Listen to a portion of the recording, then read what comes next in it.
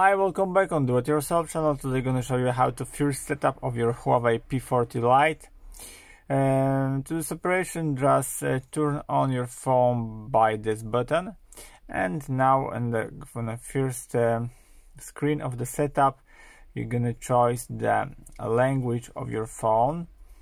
So just find uh, a language that you want to see on your phone.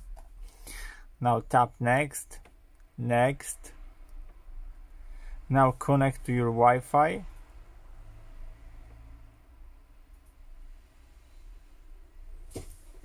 Just like that.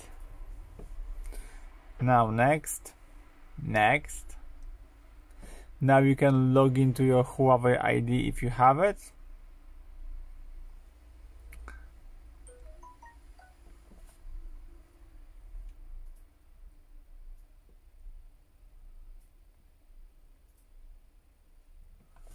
Later because I don't want to log in in my Huawei account.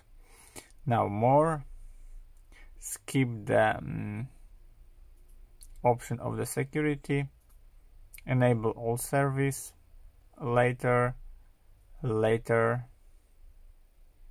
enable it set us as a new device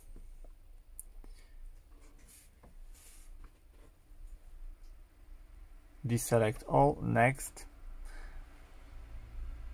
and yes. And that's it.